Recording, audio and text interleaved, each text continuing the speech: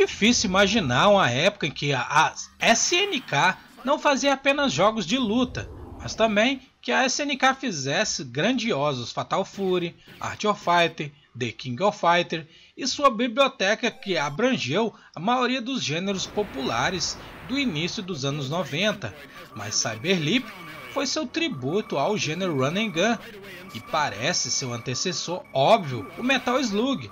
O enredo do jogo é descaradamente roubado dos filmes do Exterminador do Futuro, e os humanos são estúpidos o suficiente para construir um supercomputador é, suficiente para proteger sua colônia espacial de invasores extraterrestres. Este computador se chama Cyberleap, mas está equipado com lasers e mísseis de acordo com os padrões usuais da CNK.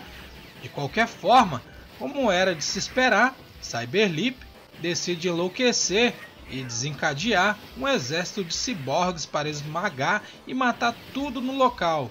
Eles fazem um bom trabalho, evidentemente, já que você vê os restos destruídos das estátuas da liberdade no fundo do primeiro estágio. Com um ou dois jogadores, chamado Brock ou Rock, seu dever como terrestre é acabar com um supercomputador maligno e explodir muitas coisas ao longo do caminho. Cyberleap é um jogo decente, mas há pouco aqui que não tenha sido feito em outros jogos, especialmente Metal Slug. Então, curiosamente, a história do jogo, ou melhor, o final, que parecia em ser uma viagem de volta à Terra, seu comandante parabeniza pelo trabalho bem feito. Mas então ele começa a falar de uma loucura sobre como não há mais obstáculos em nosso caminho e a terra é nossa. Então seus olhos ficam vermelhos e os créditos começam a rolar. Nunca é explicado diretamente, mas os alienígenas introduziram um vírus no Cyberleap, o computador, fazendo com que ele ataque a humanidade e você foi manipulado para destruí-lo, para que os alienígenas possam terminar a sua invasão. Cyberleap nunca lhe dará um desfile de bem-vindo ao lar, mas você também continua sua viagem pelo espaço sem saber de qualquer tipo de terror que você trouxe para a raça humana. É uma história um pouco pesada para um jogo como este.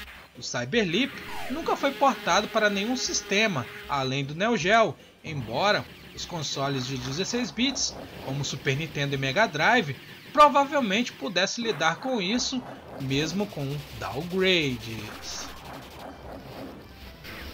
E aí, estão gostando do vídeo? Deixe seus likes aí para nos ajudar. Deixe também seu comentário e ative o sininho para receber todas as notificações do canal. Nos ajude aí, cara, compartilhando os vídeos do canal. E sigamos o vídeo. Os jogadores podem escolher entre dois comandos, o Rick e o Brook, cada um armado com uma variedade de armas para enfrentar as hordas de inimigos.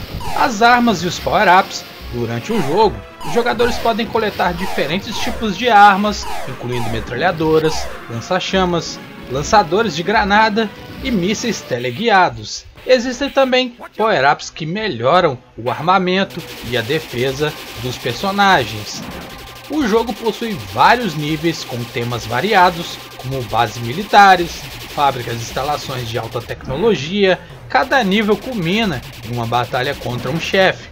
A dificuldade é conhecido por sua desafiadora, exigindo reflexos rápidos e habilidades de tiro precisa para progredir pelos níveis e derrotar os inimigos.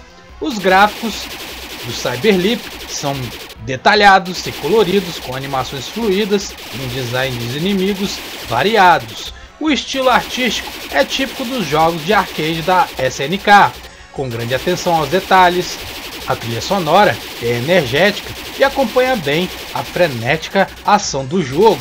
Os efeitos sonoros, como tiros, explosões, adicionam a imersão ao jogador. Cyberleap foi bem recebido pelos jogadores no arcade na época do seu lançamento, elogiado pela sua jogabilidade envolvente, gráficos impressionantes. No entanto, também foi criticado por sua alta dificuldade e por algumas semelhanças com outros jogos de run and gun do mesmo período. Embora Cyberleap não tenha alcançado o mesmo nível de notoriedade de alguns outros jogos e títulos da SNK, ele permaneceu um clássico cult entre os fãs de jogos de arcade e de ação dos anos 90. O jogo é lembrado por seu desafio e pelo prazer de superar suas fases bastante difíceis. Em resumo, é um jogo de run and gun clássico que oferece uma experiência de jogo intensa e desafiadora, com gráficos coloridos e uma história de ficção científica envolvente. Então, vou indo nessa, não deixe de curtir e compartilhar o conteúdo do canal. Vejo que tem bastante gente que assiste os vídeos, mas não está inscrita no canal, galera. Bora se inscrever, deixar o sininho para receber todas as notificações do canal. E valeu, falou, até a próxima e ó, fui! Mission completed. You have done a good job. There are no more obstacles in our way.